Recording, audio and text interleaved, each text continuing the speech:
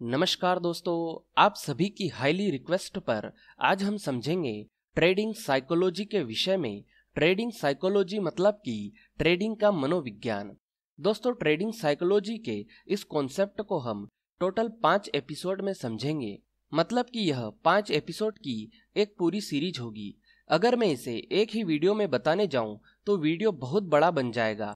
इसलिए मैंने सोचा कि पाँच अलग अलग एपिसोड बनाकर इसे आपके साथ शेयर करूँ, जिससे कि आपको यह ट्रेडिंग साइकोलॉजी का कॉन्सेप्ट अच्छे से समझ में आ सके और आपको मैं यहाँ पर एक बात की गारंटी दे रहा हूँ कि इन पाँच एपिसोड को देखने के बाद आपको जो नॉलेज मिलेगा ट्रेडिंग के प्रति आपका जो माइंडसेट विकसित होगा, उससे आप एक प्रोफेशनल ट्रेडर की तरह सोचना और समझना शुरू कर दोगे। तो हम पहले एपिसोड की शुरुआत करें, उससे पहले आप सभी से एक छोटी सी रिक्वेस्ट है।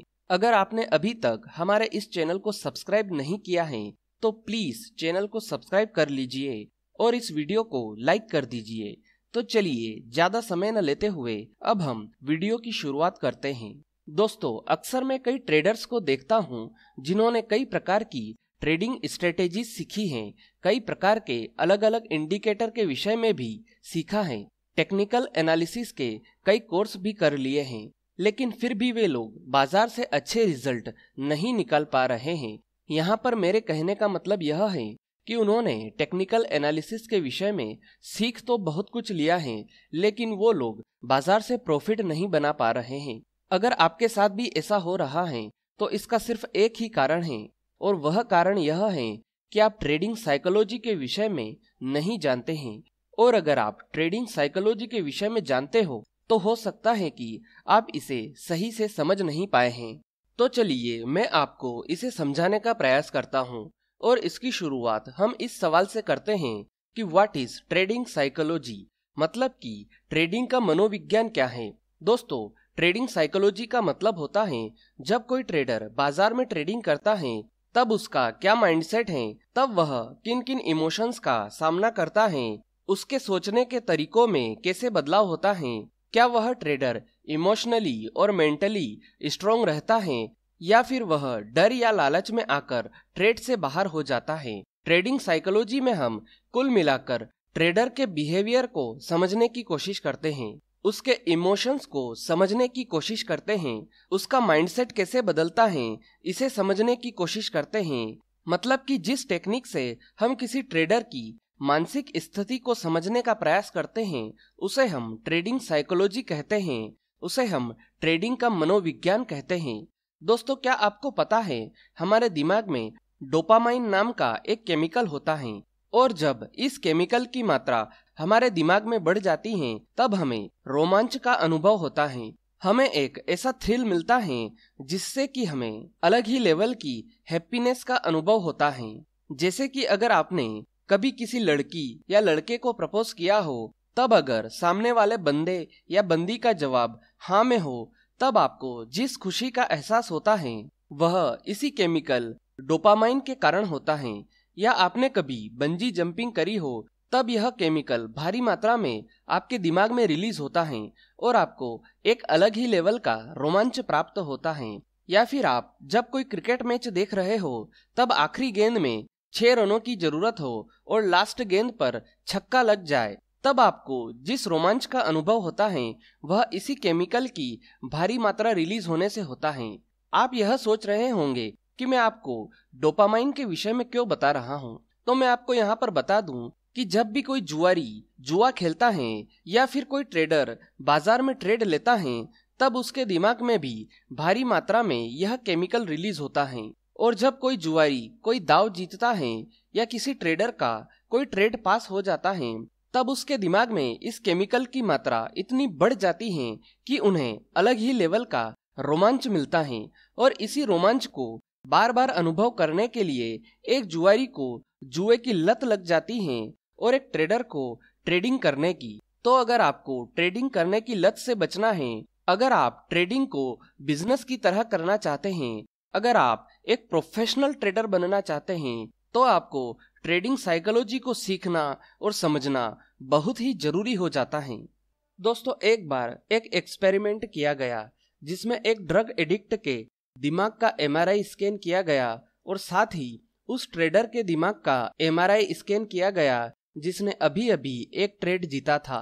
मतलब कि उस ट्रेडर का ट्रेड पास हुआ था। जब डॉक्टर को दोनों का एमआरआई स्कैन दिखाया गया तो डॉक्टर के लिए दोनों के बीच में फ़र्क बताना बिल्कुल नामुमकिन सा हो गया था। तब इस एक्सपेरिमेंट से यह बाहर निकल कर आया कि अगर किसी ट्रेडर को बाज़ार में सक्सेसफुली ट्रेड करना है या एक प्रोफेशनल ट्रेडर बनना है तो उस ट्रेडर की साइकोलॉजी उसका माइंडसेट और उसकी थिंकिंग एबिलिटी हमेशा पॉजिटिव होना चाहिए। अगर किसी ट्रेडर की साइकोलॉजी उसका माइंडसेट और उसकी थिंकिंग एबिलिटी पॉजिटिव ना होकर अगर किसी जुआरी या ड्रग एडिक्ट के जैसी होगी तो ट्रेडर कभी भी एक सक्सेसफुल ट्रेडर नहीं बन पाएगा। दोस्तों, साइकोलॉजी कहती है कि किसी भी आदत को बनाने के लिए 21 दिन का समय लगता है और वहीं किसी पुरानी आदत को छोड़ने के लिए 90 दिनों का समय लगता है।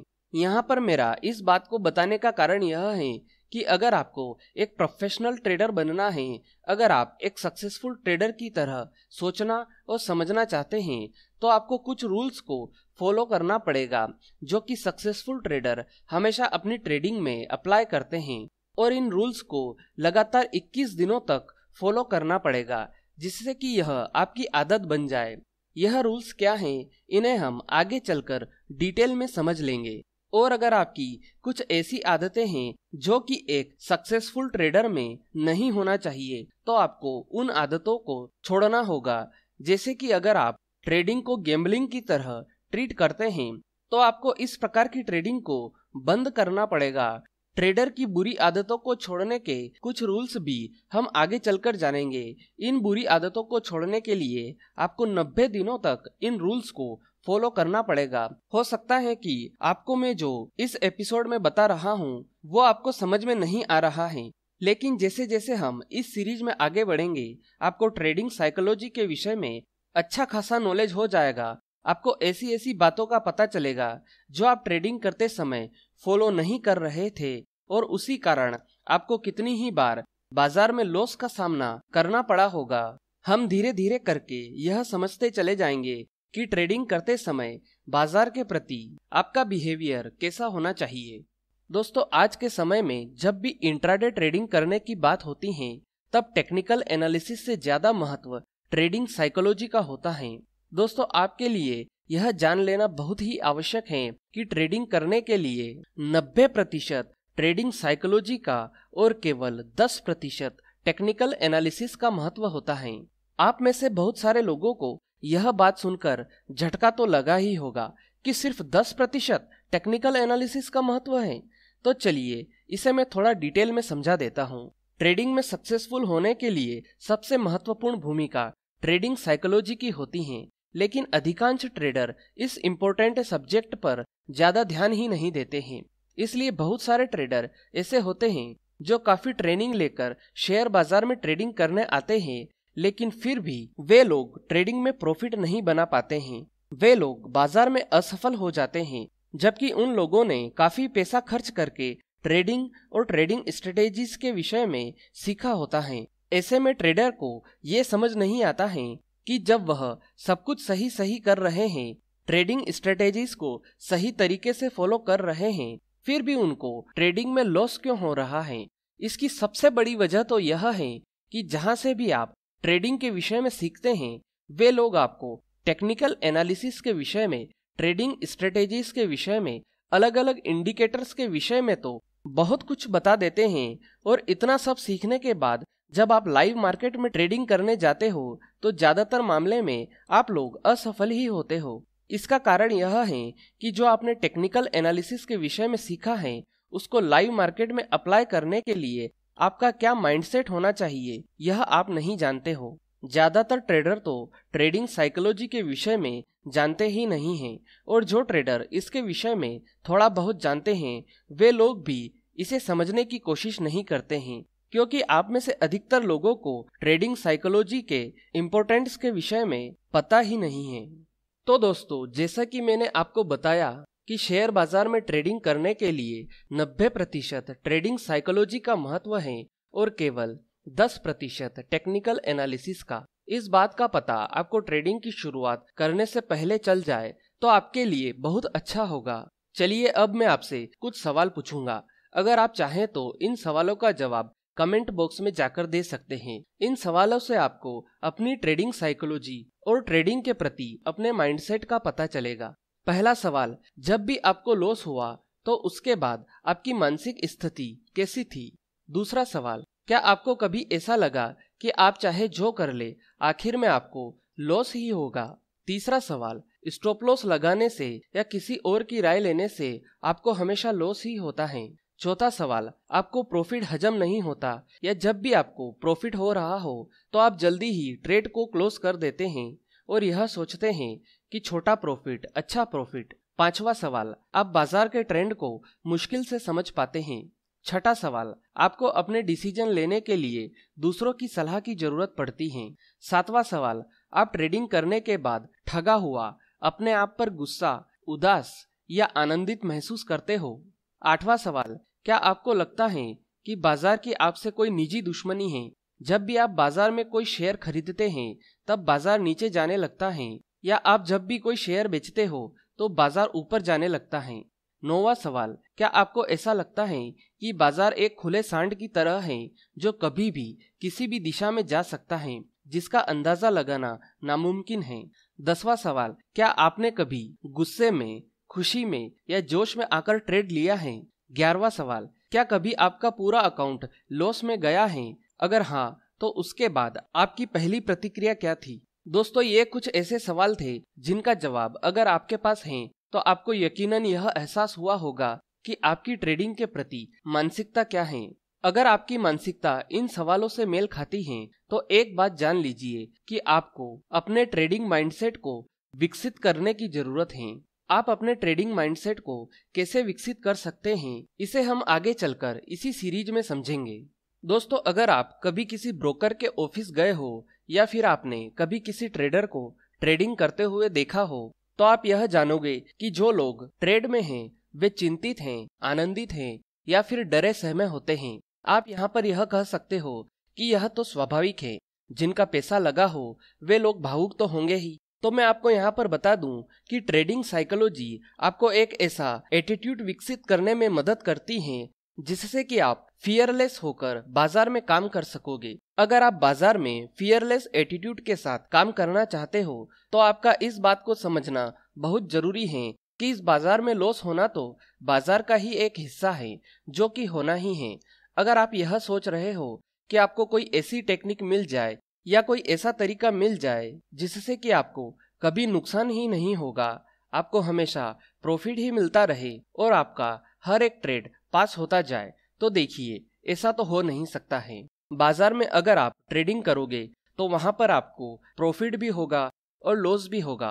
प्रॉफिट और लॉस तो सिक्के के दो पहलू हैं। दोस्तों, अगर आप एक सिक्के को हवा में उछालोगे तो उसमें हेड या टेल आने की प्रोबेबिलिटी 50-50 होती है। उसी प्रकार ट्रेडिंग साइकोलॉजी यह कहती है कि अगर आप बाज़ार में कोई ट्रेड लेते हैं तो उसमें प्रॉफिट या लॉस होने की प्रोबेबिलिटी 50-50 होती है। लेकिन अगर मैं आपको एक ऐसी टेक्निक बताऊँ, जिसके बाद आप सिक्का उछालोगे तो हेड या टेल आने की प्रोबेबिलिटी 80-20 हो जाए तो आपका माइंडसेट कैसा होगा? इस प्रयोग को आप घर पर ट्राई करके देख सकते हो। दोस्तों, जब भी आप सिक्का उछालते हो, या कहें कि टॉस करते हो, तब सिक्के के उस पहलू के आने की संभावना सबसे ज़्यादा होती है, जो कि ऊपर की तरफ़ होता है। अगर हेड ऊपर की तरफ़ है तो हेड के आने की प्रोबेबिलिटी 80 परसेंट की होती है और अगर टेल ऊपर की तरफ़ है तो टेल के आने की प्रोबेबिलिटी 80 परसेंट की होती है। तो इस उदाहरण से आप यह समझिए कि जिस टेक्निक का उपयोग करके हम हेड या टेल लाने की प्रोबेबिलिटी को 80 परसेंट कर रहे हैं, इस टेक्निक को हम शेयर बाज़ार में टेक्निकल एनालिसिस कहते हैं, क्योंकि टेक्निकल एनालिसिस का नॉलेज ही हमें ट्रेड के पास होने के 50-50 चांस को 80-20 कर देता है। और जिस माइंडसेट के साथ आप सिक्का उछाल रहे हो, उस माइंडसेट को हम ट्रेडिंग साइकोलॉजी कहते हैं। अगर आपका माइंडसेट पॉजिटिव है तो सिक्का उछालने के बाद हेड या टेल आने की आपकी एक्यूरेसी 80 परसेंट से ज़्यादा हो जाती है। इसी प्रकार ट्रेडिंग में भी अगर आपका माइंडसेट ट्रेडिंग साइकोलॉजी के हिसाब से विकसित हैं तो आपके ट्रेडिंग में सक्सेसफुल होने की संभावना भी बढ़ जाती है। दोस्तों, अब हम समझते हैं कि हमें ट्रेडिंग साइकोलॉजी के विषय में सीखना क्यों ज़रूरी है। दोस्तों, जिस प्रकार टेक्निकल एनालिसिस सीखकर कोई ट्रेडर चार्ट को रीड करना सीखता है, उसी तरह ट्रेडिंग साइकोलॉजी को सीखकर ट्रेडर बाज़ार में अपने इमोशंस को कंट्रोल करना सीख जाता है। जब कोई ट्रेडर ट्रेडिंग साइकोलॉजी के विषय में सीख जाता है, तब वह एक डिसिप्लिन ट्रेडर बनता है और ट्रेडिंग में डिसिप्लिन बहुत ज़रूरी है। दोस्तों शेयर बाज़ार में आने वाले 90 प्रतिशत लोग यहाँ पर अपना सारा पैसा डुबो देते हैं, केवल और केवल 10 प्रतिशत लोग ही इस बाज़ार में मुनाफा कमा पाते हैं, केवल 10 प्रतिशत ट्रेडर ही इस बाज़ार में एक सक्सेसफुल ट्रेडर बन पाते हैं। ये 10 प्रतिशत ट्रेडर वे होते हैं जो टेक्निकल एनालिसिस को प्रॉपर तरीके से फॉलो करते हैं, ट्रेडिंग साइकोलॉजी को प्रॉपर तरीके से सीखते हैं और उसे फॉलो करते हैं। तो यहाँ पर बात सीधी सी है। अगर आपको भी एक सक्सेसफुल ट्रेडर बनना है तो आपको भी टेक्निकल एनालिसिस को फॉलो करना पड़ेगा। ट्रेडिंग साइकोलॉजी को फॉलो करना पड़ेगा। दोस्तों, मैं कई ट्रेडर्स को देखता हूँ, जो इस बाज़ार में यह सोचकर ट्रेड करते हैं कि मुझे लग रहा है कि बाज़ार इधर जाने वाला है या बाज़ार उधर जाने वाला है। दोस्तों, आप एक बात को समझ लीजिए कि अगर आप इस बाज़ार में लगने पर काम करोगे तो ये बाज़ार आपकी लगा देगा और इतने अच्छे तरीके से लगाएगा कि आप यह सोचने लगोगे कि शेयर बाज़ार तो सट्टा बाज़ार है। यह तो ऐसी जगह है कि यहाँ पर हमारा पैसा डूबना ही डूबना है, चाहे हम कुछ भी कर ले। इस बाज़ार में आपको क्या लग रहा है? इसकी वैल्यू यहाँ पर दो कोड़ी की भी नहीं है। इस बाज़ार को कोई फ़र्क नहीं पड़ता है कि आपको क्या लग रहा है। आपने किस स्टॉक में ट्रेड लिया है? आपके पास कितना कैपिटल है? आपको प्रॉफिट हो रहा है या आपको लॉस हो रहा है, आपको यहाँ पर यह बात समझना होगी कि आपको लगने पर नहीं, आपको दिखने पर काम करना है। दिखने पर मतलब कि चार्ट में कौन सा पैटर्न दिख रहा है चार्ट में कहाँ पर ब्रेकआउट हो रहा है चार्ट में अभी कौन सा ट्रेंड चल रहा है, आपको यहाँ पर हमेशा चार्ट की सुनकर ट्रेड करना है, न कि इमोशंस की सुनकर ट्रेड करना है। क्योंकि जब भी आप इस बाज़ार में चार्ट को फॉलो करके चलते हो तो इसका मतलब यह है कि आप बाज़ार के साथ साथ चल रहे हो। दोस्तों, बाज़ार में कुछ ट्रेडर का माइंडसेट हमेशा बुल वाला होता है और कुछ ट्रेडर का माइंडसेट हमेशा बेयर वाला होता है। जो बुल माइंडसेट वाले ट्रेडर होते हैं, उन्हें बाज़ार में हमेशा तेज़ी दिखाई देती है। ये लोग हमेशा उन संकेतों को ढूंढते हैं जो कि बाज़ार में बाइंग करने का संकेत दे। और जो बियर माइंडसेट वाले ट्रेडर होते हैं, उन्हें बाज़ार में हमेशा मंदी दिखाई देती है। ये लोग हमेशा उन संकेतों को ढूंढते हैं, जो कि बाज़ार में शॉर्ट सेलिंग करने का इंडिकेशन दे। आप मुझे कमेंट बॉक्स में जाकर बता सकते हैं कि आप किस माइंडसेट वाले ट्रेडर हैं। लेकिन जो सक्सेसफुल ट्रेडर होते हैं, उनका माइंडसेट इस जगह पर अलग ही होता है। वे ना तो बुल माइंडसेट के साथ बाज़ार में ट्रेडिंग करते हैं, और ना ही बियर माइंडसेट के साथ। वे लोग बाज़ार के ट्रेंड को फॉलो करते हैं, क्योंकि सक्सेसफुल ट्रेडर्स का माइंडसेट इस कोट के साथ जुड़ा होता है। Always follow the trend because trend is your best friend और जब भी बाज़ार का ट्रेंड बुलिश होता है तो ये लोग बुल माइंडसेट के साथ बाज़ार में ट्रेडिंग करते हैं। और जब भी बाज़ार का ट्रेंड बेरिश होता है, तब ये लोग बियर माइंडसेट के साथ बाज़ार में ट्रेडिंग करते हैं। इस विषय में मैं आपको कहना चाहता हूँ the world of investing is jungle दुनिया भर में जो निवेश का बाज़ार है, वो एक जंगल है और इसमें दो तरह के जानवर घूमते हैं, बुल और बेयर। लेकिन यहाँ पर सक्सेसफुल ट्रेडर वही बन पाता है जो शेयर बनकर रहे मतलब कि जो बुल्स और बियर्स दोनों का शिकार करे। तो यहाँ पर बात सीधी सी है कि आपको किसी भी एक माइंडसेट का ट्रेडर बनकर नहीं रहना है। अगर आपको इस बाज़ार में सक्सेसफुल ट्रेडर बनना है। अगर इस बाज़ार में आपको प्रोफेशनल ट्रेडर बनना है तो आपको बाज़ार के ट्रेंड को फॉलो करना है। अगर बाज़ार का ट्रेंड बुलिश है तो आप बुल बन जाइए। और अगर बाज़ार का ट्रेंड बेरिश है तो आप बियर बन जाइए। तो दोस्तों, मैं यहाँ पर आपको बताना चाहता हूँ कि ट्रेडिंग साइकोलॉजी कोई ट्रेडिंग स्ट्रेटेजी नहीं है, जो कि आपको यह बताए कि स्टॉक को कहाँ से बाय करना है और स्टॉक को कहाँ पर जाकर सेल करना है। दोस्तों ट्रेडिंग साइकोलॉजी एक ऐसी मेथड है जिसको फॉलो करके आपको यह पता चलेगा कि ट्रेडिंग के प्रति आपका माइंडसेट कैसा है। ट्रेडिंग साइकोलॉजी आपको यह समझने में मदद करेगी कि बाज़ार में ट्रेड लेने के बाद आपका माइंडसेट कैसा होना चाहिए, आपकी थिंकिंग प्रोसेस कैसी होनी चाहिए। ट्रेडिंग साइकोलॉजी आपको यह समझाएगी कि बाज़ार में जो अनसक्सेसफुल ट्रेडर होता है, उसका माइंडसेट कैसा होता है। बाज़ार में जो सक्सेसफुल और प्रोफेशनल ट्रेडर होता है, उसका माइंडसेट उसकी थिंकिंग प्रोसेस कैसी होती है? आपने आज तक टेक्निकल एनालिसिस के विषय में तो बहुत कुछ सीख लिया है, लेकिन आप उसे सही तरीके से अप्लाई क्यों नहीं कर पा रहे हो? बाज़ार में आप क्या क्या मिस्टेक कर रहे हो? यह सब कुछ आपको ट्रेडिंग साइकोलॉजी से पता चलेगा। तो दोस्तों, आज ट्रेडिंग साइकोलॉजी के एपिसोड वन में हमने यह जाना कि ट्रेडिंग साइकोलॉजी क्या होती है ट्रेडिंग साइकोलॉजी का बाज़ार में कितना महत्व है? ट्रेडिंग साइकोलॉजी का यह एपिसोड बिगिनर्स के हिसाब से था। उम्मीद है कि आपको यह एपिसोड पसंद आया होगा। अगर इस एपिसोड से जुड़ा कोई भी सवाल आपके दिमाग में है तो आप कमेंट बॉक्स में जाकर पूछ सकते हैं। आज के लिए इतना ही। फिर मिलेंगे। Goodbye. धन्यवाद।